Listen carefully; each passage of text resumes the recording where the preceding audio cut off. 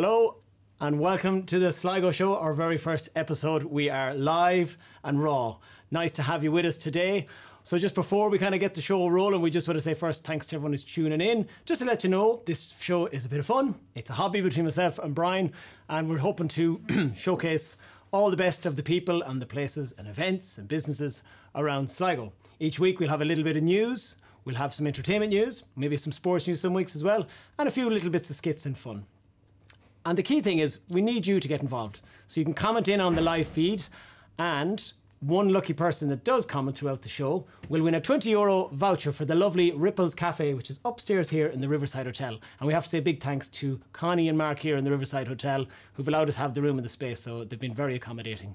So this week, as I said, the topic of the week we want to get talking about is because the last week the beer gardens have opened and the pubs and the restaurants and cafes. So, what is the best, let's call it outdoor spa- space? It doesn't have to be a beer garden necessarily that you've been in this week. So, we're going to see uh, where's the best place you've been this week, and we'll get a few comments in and we'll give a few plugs for people like that. Okay, so as I said, if you have questions for our guest or little things you want to say as you come, goes through the show, just pop us a comment and we'll read them out as much as we can, anyways. So, without further ado, we're going to go to our first guest. Okay, to many people, he's known as John the Map. Others, he's John Callanan. And he is a, a, a stalwart of so many scenes in Sligo, but mostly the music scene. But uh, the first thing most people will know for is the maps, John. So, John, firstly, we're going to chat about your maps and a big welcome to the show. Thanks for coming in. Thanks for giving us your time. Thanks, appreciate it. Yeah, to the old Nice elbow. So I think most people may have heard your name and maybe not have seen you or, or heard from you. So I suppose to give a little bit of background, like what is your background? Where you originate from, or you know, how did you end up in Sligo eventually? Well, I'm, I'm actually from northwest London. Okay. But all my family's from Sligo. Ah. So my aunt and uncle had a shop on the Mall called uh, Hennigan's, and uh, my second cousin had a pub on Wine Street, Hennigan's, and uh, I've got family in Collooney and Letterkenny and Oh, so all over the place, Well so- rooted in Sligo Yeah, Mm. at this. And I suppose going back to the John the Map thing. Mm. Uh, I mean, I came to Sligo a number of years ago, and I remember seeing the brochures. So, Mm. if people have picked up a brochure, of Sligo a tourism brochure, you've probably been the guy that has drawn that map years ago. Well, mo- most of the maps made in the town are either copied off my map or are Okay, or they are yours me, yeah. original. And so you are a cartographer or a map maker, how would you describe yourself? Well, cartographers just draw maps. Okay. Uh, as the name suggests, cart is map, graphy is you know, graphics. Okay, draw. So, uh, but I'm actually a map maker. I go to the place, I measure all the streets, I measure all the alleyways, and uh, take note of what's there, and then make a map. So I'm both map maker and cartographer. Okay, and I call myself an explorer, but Explorer. nobody believes that. They know it's nonsense, you know. no, no big problem which title it is, as long as you, as long as they give you the money for the maps, as you. Oh, of course, yeah. And you've, uh, like, you've been all over the world with your map Well, making. m- mainly Europe and Asia and America. Okay, and and where did that start? Did you just decide I'm going to search a country, or Well, when, when, when? I was younger, I mean, not much younger, but Yeah. fairly younger, I used to hitchhike a lot in England and then round Ireland and Scotland and then round Europe. I got to the point where I was basically, I might be in a party in Norway one week, the next week I might be at a gig in Portugal, the next Yeah. week I might be in Athens, just hitchhiking around. And then the idea came to me that I was going to go out to Asia and really kind of stretch the whole hitchhiking thing.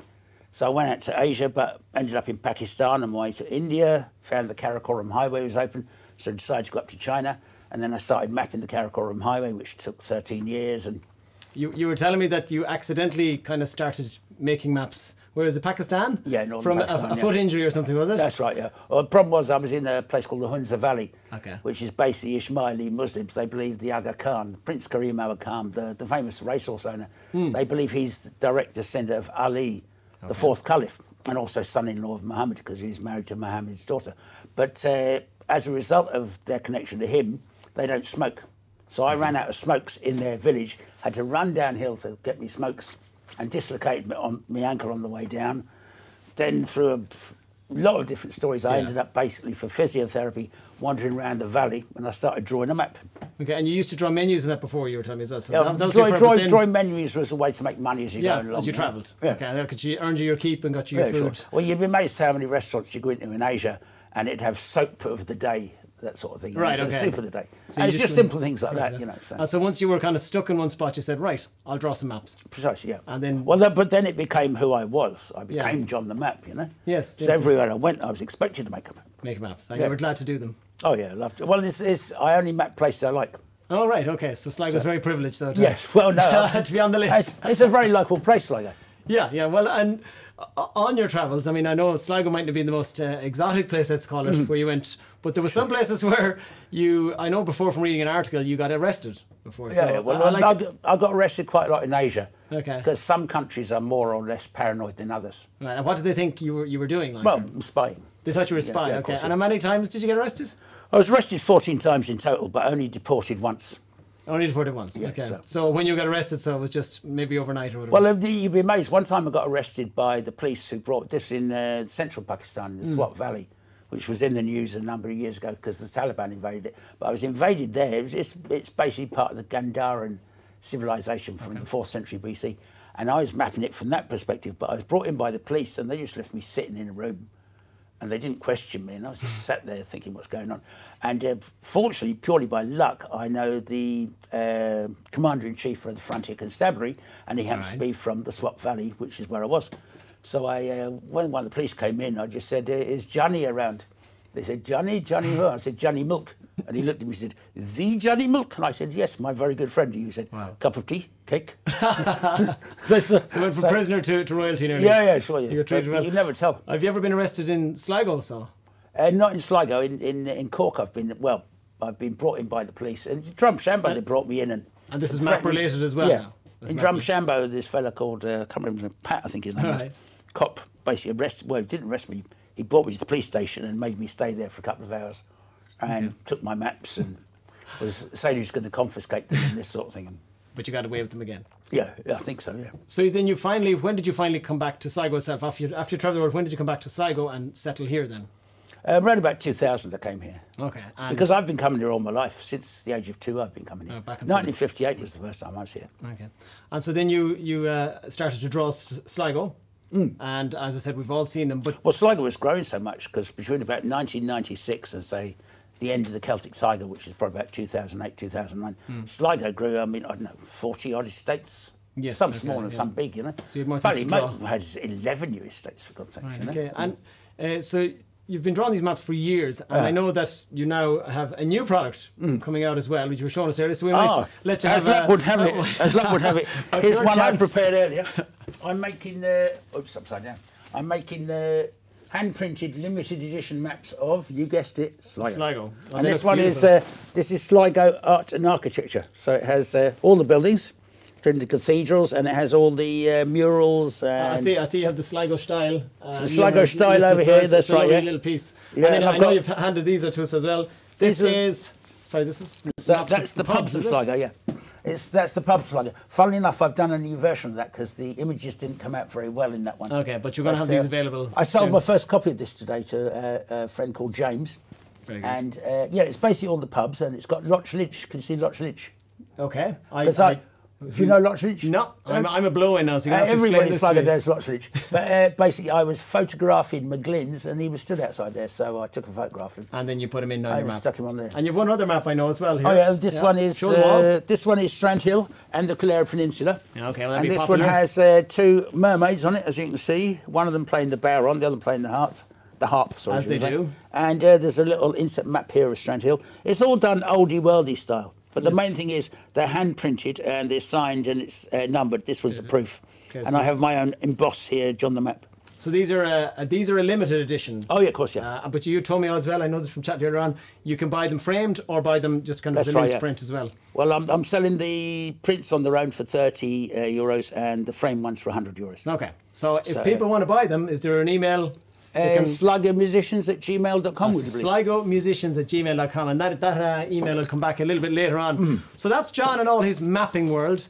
In the second half of the interview, we'll be chatting more about his love of the Sligo music scene and what he has done throughout the years. Unbelievable amount of voluntary work to help that scene. So for now, as I said, each week we'll have a few little uh, bits of news and whatever from different sources around the town. We'll have different media outlets and different bloggers and who are getting involved. So now we're going to have a little piece of the local Sligo news, courtesy of the team at the Sligo Weekender. Hi, I'm Daniel Battle, Advertising Executive with the Sligo Weekender. We have lots of great stories in this week's edition, such as reactions from Leaving Cert students following their first exams in an eventful year. The pubs are back again, We spoke to some pub owners about reopening their outdoors again for the first time in six months. Strandhill People's Market also returned last weekend. We have plenty of photos and reaction from the big day. Coffee cart owner Noel Phelan talks about his new business, Beanie Man Brews at Healy's Garden Centre. And in Local Legends reporter Jerry McLaughlin chats to Tubbercurry's Tom Walsh about 40 years with the Phoenix Players. All this and much more in this week's Sligo Weekender, in shops and online now.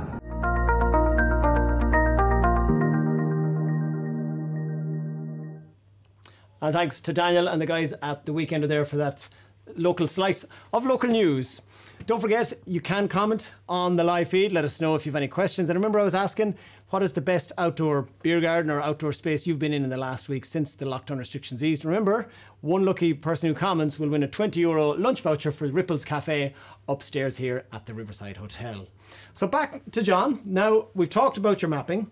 And a thing I suppose I've known you even more so for in the last number of years was your love of Sligo music. Mm-hmm. So for anyone that doesn't know, John has set up a website, sligomusicians.com, for how many years now, John? Uh, six years now. Six years. I feel it's longer because I've, I've seen the gigs for longer. And you basically upload every gig in Sligo Mm-hmm. uh, on this website. You do it voluntarily and f- Uh-huh. f- like no money involved at all. You just Mm. love just doing this. And like, what does that involve work-wise for you in a, on a normal week? Like, how much Um, effort? Generally, uh, 15 to 20 hours a week. Wow. Most of it's on the phone. Just Chasing calling, people. yeah, and calling them over and over and over again. And So well, things are constantly changing in Sligo. No, of course, of course. Sligo's a huge music scene, far bigger than I mean. It's uh, it's about one third of the music scene of Dublin for a population that's one seventy fifth of. Uh, like it's it is, and I mean, as I said, I'm a, I'm a mm. blow in myself, but like in my life in Sligo, it's just everywhere you go on a mm.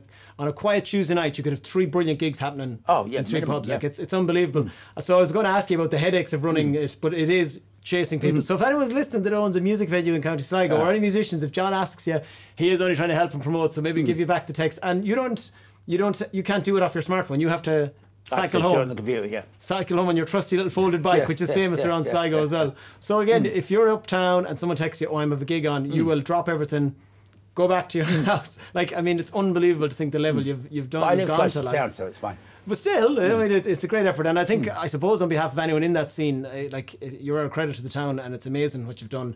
And as I said, it's such a promotion for the town. How many gigs can be on in town in a given Well, week? in the winter, generally, we'll have about 90 live gigs a week.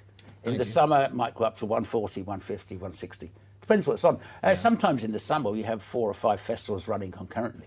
wow! And So, you don't I mean, just we, we have uh, we have so many festivals. We've got the Jazz Project, we've got Cairde, we've got Sligo Live in October, Yeah. and uh, the Shanty Festival. Although and, that's and you will yeah, like if you're on John's page in those weeks, it's like Yes, it is, yeah. crushed up. There's so Well, I much try stuff to fit there. into an A4 shape. Yeah, so which makes it 90 gigs in an A4 shape you can just about do. Yes. But uh, if it goes to 160, I have to squeeze it all up. You can only read it. You know? Yeah, yeah. But again, people can go in and zoom in. At least yeah, they're there. that's right, yeah. And you don't just showcase what's on in County Sligo itself. If there's a Sligo musician kind of anywhere in the world, Mm. Oh, yeah, sure. yeah. you'll cover Well, it, as found- long as they tell you. Yeah. Well, I'm, I basically have to go online and go to their pages, and so because uh, especially around Paddy's Day, lots Yes. of Irish bands are playing worldwide. Dervish will always do a, an American tour. Yes. Two or three weeks either side of Paddy's Day, and uh, so I actually have the gigs and where they're on. Now, in the old days, I was doing it in Flash.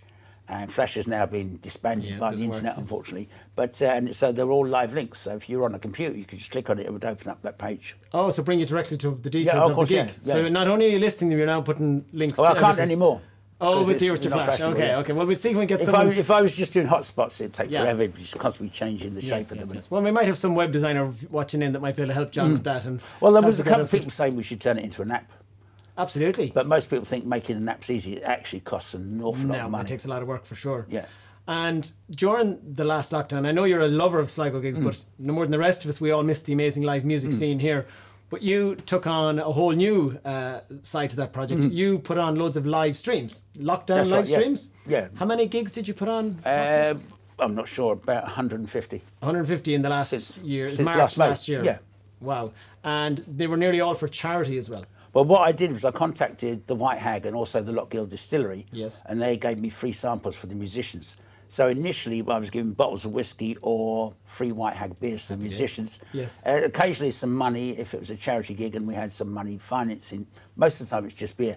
And then uh, we would have different charities, usually local charities, sometimes national charities. Okay. But for instance, we ran the Shanty Festival last year in mid June, Hmm. and we raised I don't know, about five thousand for the RNLI.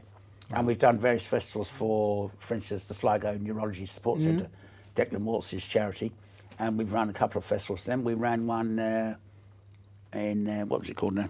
We ran a Valentine's Day uh, special. Yeah, yeah, I remember And we too. ran a Christmas festival and know, So, so- and like, um, do you have any idea roughly how much you've raised in the last year? Some in the region of fifty thousand. So fifty thousand and over hundred or so gigs. 150 gigs. 150 gigs, and again, in fairness, we have to give credit to a lot of the musicians. Most Oh, of course, of them, yeah, geez, yeah. I'm- was I'm like not a- playing. Yeah, I know, I know. But what I mean is, like, they gave voluntarily Of course, yeah. their time, Uh-huh. and okay, they got a couple of beers, which is great. But I mean, they put in the effort to do that Of as course, well, yeah. and Uh-huh. and uh, I think we're all uh, in agreement that it would be so good to see the music scene back as soon as we can. You know, Oh, of course, yeah, geez, And. I think that at the moment, there's everyone saying there's guidelines. So guidelines are just that. So maybe some places can start uh, doing a bit of music well, well, this weekend I've got Owen Shroy, Aileen Concannon, and Shane McGowan playing on the McGlynn's page. So it's But I've on the Facebook page? On the Facebook Okay. page of McGlynn's, but I've spoken to Dara McGlynn. He's going to then live stream it through to the because he'll, have people he has his beer garden out in the his back. beer garden. Yeah. Yeah. So basically, while they're playing, they'll be directly connecting with people, and hopefully, some people will be on the phones. And So if you get to McGlynn, that's one example Yeah. this week's, and that again is that raising money for charity as well. yeah, that'll be for hospice, Northwest Hospice. So again, it's it's, it's all it's all amazing. So if you're in McGlynn's, you'll be actually able to hear the feed that you've organised right, yeah. in the Uh, back. So you'll get to feel a bit more like the live music you're trying to. Amazing. And then on top of all of that, I know you talked to me a few months ago about an idea you had of maybe to try and get the music back in the pubs again. Now, Oh, yeah, uh, that's- as you were saying thing before, I've been trying to do, Yeah, yeah. So like, tell us a bit more about what Um, this well, might one, be. one of the big problems is the so-called wet pubs, the ones that aren't even open at the moment, that don't have that second stream of income from food and so on. Yeah. Uh, they're unfortunately uh, the ones that do most of the really good music, usually the early week sessions. So you have Seamie O'Dowd and Kieran Quinn's Trad Fusion gig in Connolly's. Connolly's, yeah. Uh, you have uh, Brian McDonough, Rick Epping, Leonard Barry, Philip Duffy playing trad in shoots. You also have No Crows playing in shoots. That's a Tuesday, isn't it, or is it Monday- Wednesday? That's Wednesday. yeah. Wednesday, yeah, yeah. So uh, I mean, they're three of the biggest gigs of the week, and by by. so I thought I This switched must this be off. musician ringing, John. I just switched this. Someone say, John, have I'm a gig no. tonight. Will you put it up on the website? Sorry. We did was, tell John. That was Owen. Troy. Go on, try. And I, he's Troy, one of your biggest players on all He these is, yeah, yeah. He's Oh, he to the most out of anyone. yeah, yeah. So Owen, so we'll come back to you in a oh, minute, Owen. And he's ringing again. Now, this must be very important for Owen. We knew in the first How show do you switch this off? something Oh, here we go. happened like this. Owen, try. What are you at? We don't care how much money you've raised for charity. No, we're, we're, we have it off now. So your It's new project is to try and get music back into these small pubs that Uh-huh. don't have a revenue stream of food. Mm. Okay, so what is it you're looking for? Are we looking for sponsors to do this? Because the pubs, it wouldn't be maybe in some of their budgets to pay for live music because there's a restricted crowd in. Ah, yes, that's so right, yeah. you were kind of trying to drum up Well, well, well, the basic the problem is is that a publican that has social distancing, say like a place like Shoot the Crows, one Yeah. of the biggest problems they've got is that uh, there's a really limited number of people you can fit in there. Now Ronan's opened upstairs to get more In people Shoot the in. In Shoot the Crows, yeah. And he's had to split the front snug into two. I can imagine. Uh, just to get more people in, you know, and uh, so it means he's getting a quarter of his previous custom. And the last thing he needs is a bunch of musicians taking up a whole table. Well, I mean, it that he's then yeah, got to pay and give free beers to. Yeah, so I've yeah. done a deal with the White Hag's going to produce uh, maybe small kegs and Yeah. give it to the pubs that are doing the Yeah, yeah. doing the. Owen tries busy again. Owen Troy said it again. So And, uh, you're looking for businesses, maybe, or individuals that might sponsor. That's right, yeah. Now again, this mightn't happen yet. we- We're hmm. waiting on restrictions, Of but course, maybe yeah. in the coming months, Yeah. uh, you're trying to put a, a setup in place that people might say, "Well, I'll hmm. donate maybe eighty or hundred. Yeah. That will just put a musician back Sure, yeah. in a gig yeah. and Uh, provide a bit of music hmm. for those pubs. So again, uh, how do people? If they want to support you on that, how can they? I presume it's the same email again, sligomusicians at gmail.com. That is a great email ah. to have in this town. You know, so that's how people can get in touch with you with that. Well, John, it's I could literally talk to you for about another hour or two, no question about it. And I'm glad to have brought you on the show because even in my involvement in things in town, I've just seen the work you've done for years, and I know that not everyone maybe understands what you do or how much work is involved and the amazing work you've done for charity. So I suppose on on, thi- on behalf of Sligo, thanks very much. And don't forget his beautiful artwork projects as well. That's sligomusicians at gmail.com. They're beautiful signature pieces. So John, thanks for coming. And My we'll see pleasure. you hopefully soon at a Great gig to be in here. town. Thanks a million. So uh, elbows. Now, elbows again. Cheers. Brendan. okay, I'll see you again. So now that's John off, and he can answer that phone call now, and Owen Troy can can be got from there. So next up, we are going to feature a local business. Each week, we're going to like to we'd like to feature a local business. It could be from anywhere in the county, and just to tell us a little bit more about their shop is Emma Gillespie in Gillespie's out in Tubbercurry. So this week on our featured business of the week, we have Emma Gillespie. So hi Emma, nice to have you on the show. Hello, Brendan. Thanks for having me. You're very welcome. And we're going to get straight into it, okay? So tell us, what is your business? We are Gillespie's in Tubbercurry and we are serving South Sligo for over 70 years. We are a one stop gift shop in South Sligo. We range from having Shannonbridge pottery, Newgrange giftware, and jewellery. We have straights and aroma ties, which have artificial flowers, your oil burners, many different types. We have Belleek giftware and jewellery. Um, we have Gold Crystal, which there is gorgeous new sterling silver jewellery from Gold Crystal, and we have the giftware. And Genesis, it sounds a lot, but we have a good bit of gi- giftware for you. you seem to do a lot out there. And what, what's your role in the business itself? so I suppose I'm I'm a helper. I'm a sales assistant for uh, in Gillespie's, and so is my mum and dad. So it's a family-run business of the three of us. Okay. And uh, obviously, so you're self employed. So, what do you find the best and the worst thing about being self employed? Oh look, um, I suppose the worst thing is that we have to depend on our customers. Um, but at the same time, the best thing is when the customers come in um, and they've really supported us. And we saw that during lockdown, the amount of people that supported us was unbelievable, and we really thank them from the bottom of our hearts because otherwise, without them, it wouldn't have happened for us during lockdown. It really wouldn't. Yeah. So and- and thanks. do you sell online or, or did you set up online during COVID? Yeah, so we always had a Facebook page. I suppose when I started um, helping mum and dad, maybe last year, I started an Instagram page, and again, Instagram page took off.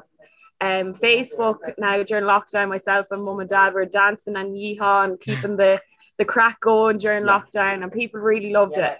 So you can find us on Facebook at Gillespie's Tubbercurry, and you can find us on Instagram at Gillespie's all lowercase Gillespie's underscore Tubber. Perfect, perfect. And then to finish up, if people are tipping down to Tubbercurry to visit you in your shop, like we like to spread the love of other businesses, where would you tell them maybe to go for a coffee when they're in Tubbercurry? Oh, there's plenty of places in Tubbercurry to enjoy lovely coffee. I can tell you that. So we recently had uh, a new coffee, two new coffee shops open. Uh, the Grand Oak 2020 with Jenny French, and we had Benjamin's open. Um, two gorgeous coffee shops, and of course we have the two fabulous hotels, uh, Murphy's Hotel and Cawley's Hotel. Very good. So that's it. That's Emma Gillespie from Gillespie's and in Tubbercurry. Pop in there. And I believe you do sports gear and everything in there as well. we have sports gear so actually we we do our own sligo gear. So my dad i designed a logo for my dad J, Wow. jg 1937 that's when the shop opened. Brilliant. obviously dad's not was born 1937 but whatever. Yeah. so we've new gear new color on the way this week. So stay tuned follow our pages and you'll see the new color. Also i just want to say father's day is approaching. We have plenty of stuff out there. We've weird fish diesel duck and cover douglas d&g giordani that's it So it's pretty much everything inside your four walls, really. yeah there's a lot going on in here Well, Emma, it's been a pleasure chatting to you. Thanks for coming on the show. And sure, we'll Thanks pop so into you the next time we're passing, okay? Thanks a million. thanks so much for having me So thanks there to Emma out in Gillespie's in Tubbercurry. And I love that new range of sports where they have. And we might even have a prize of one of those pieces of clothing in the coming weeks. So we're going to go back to a couple of comments. You finally kind of woke up and give us a few comments. We were asking you about the best outdoor areas, beer gardens, outdoor spaces you've been in in the last week. And maybe we'll encourage more people to go and visit those lovely places. We're getting a lot of comments in here for Foley's Bar. I think that's out in Tubbercurry. Uh, someone else says a new outdoor space in Yates Local in Rathcormac. I actually seen a picture of that. I think it was in the Sligo Weekender today. It looks amazing. Um, who else? The Blue Lagoon, of course. Again, that's one of the biggest outdoor beer gardens, I'd say, in the whole of the county. It's amazing. Uh, I know the guys out in, um, oh, I can't I forget the, I'll come back to that one. I remember the name of it myself. And again, we have a couple more people here. Foley's and Tubbercurry definitely seems like a good place to go and see. And Owen Troy, you're a troublemaker, ringing poor John the map non-stop during the live feed. So we'll be back in a, in a few minutes again with more comments. Remember, we have a 20 euro voucher for Ripples Cafe upstairs. And now, to go to a more serious piece of local news, this may some of you may find this disturbing as well, so I'll let the VT tell the story.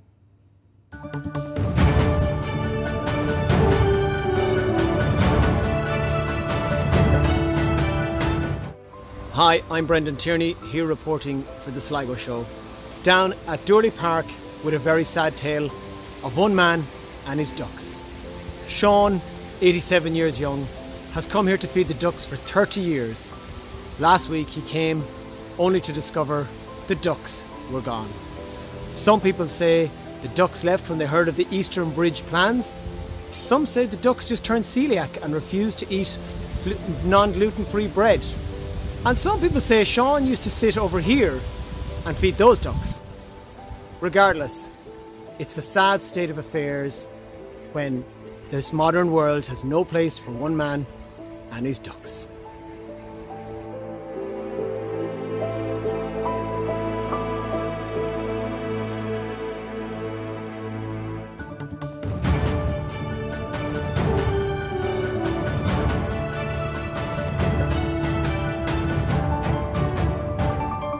A very sad tale indeed.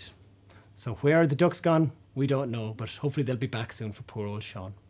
So again, we have a couple more comments coming in here. Uh, one of the pubs as well we meant to mention was Kelly's Bar. It's a new bar out in Ballygawley, and they have an amazing outdoor space. People have seen as well. So we have people. Val Robus is tuning in, another great stalwart of the county scene and promoting everything there is to see about Sligo. And we have Francis Kennedy all the way in Germany tuning in. So listen, it's a real privilege you all tuning in and commenting. It's great to have you. And don't forget, we're here every Thursday for the next few weeks at eight o'clock. So next up, we have our entertainment slot done by the wonderful Karen Gordon of Pop Up Theatre and the Star Factory. They are two theatre production companies, and one of them is like a kids theatre group. And all this information was given us to given to us by Clodagh at Sligo Hub, which is another brilliant website if you want to find out what to do where in Sligo. So I'll hand over to Karen with the VT. Hi, this is Karen Gordon from Pop Up Theatre Sligo and the Star Factory with your entertainment update. The Model Sligo have opened an exhibition entitled Sea Water Ballads, a celebration of the 150 years since the birth of Jack B. Yeats. This exhibition features for the very first time 21 newly conserved watercolours and a collection of Jack B. Yeats' very own model boats. The Hawkswell box office also opened this week, so be sure to check out all upcoming events at hawkswell.com. The Yeats Day Festival also started this week, running up until June 13th, so check out all the events on the Yeats Society Facebook page. Watch out for two new exhibitions coming to the Hamilton Gallery this summer, including Heidi Wickham's Inside the Circle Exploring Cold Spaces, now showing, and Meditations in Time of Civil War opening next week. There's a limited amount of tickets left for Wild Roots. If you haven't got your tickets for that, be sure to go to wildroots.ie to snap those up. If you have little ones aged 4 to 12, the Star Factory are running a three week summer camp, Monday to Friday, 10am to 2pm, for children aged 4 to 12 years from the 26th of July right through to the 13th of August. We also begin our weekly three hour musical theatre classes, singing, dancing, and acting for 4 to 12 years, starting Saturday, the 12th of July, running each Saturday until the very end of November, finishing with a fantastic concert with the Sligo Academy of Music. Find the Star Factory on Facebook to register ASAP. And finally, a big welcome back to all of the businesses, all of the bars and restaurants who are open again this week for outdoor dining. And if you want to check out any of the local beaches, be sure to go to sligohub.com for a great beach guide. That's all from me. Be sure to stay safe and look after yourselves. Bye.